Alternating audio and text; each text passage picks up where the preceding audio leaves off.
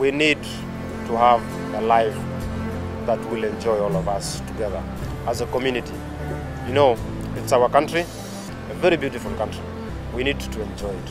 Please, let's put aside our differences and let's live together as one people. we need a wake up point. We need an awakening. You know, what is it that we want as South Sudanese? What is it that, like, what is South Sudan 50 years from now, you know? And I think this is for, for somebody who can, who, who is able to think outside the box. I think this is what we should start working on. enough is enough to the war. We need to stop this war. So we should we should have that love for our country and you know, sense of patriotism. So let's stop the war.